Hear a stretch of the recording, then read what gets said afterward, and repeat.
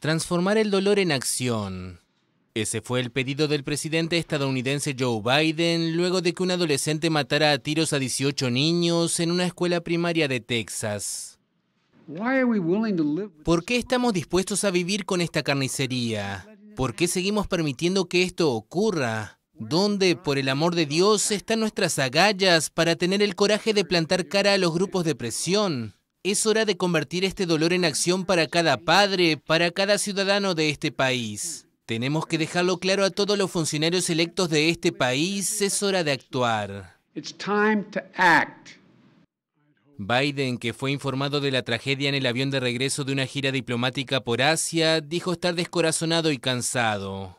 El mandatario arremetió contra la oposición republicana, que bloquea todos sus intentos de aprobar en el Congreso medidas como la verificación obligatoria de antecedentes penales y psiquiátricos para los compradores de armas. Los conservadores se niegan hasta ahora a restablecer la prohibición de comercializar rifles de asalto a civiles, como la que existió en Estados Unidos entre 1994 y 2004 para algunas armas semiautomáticas.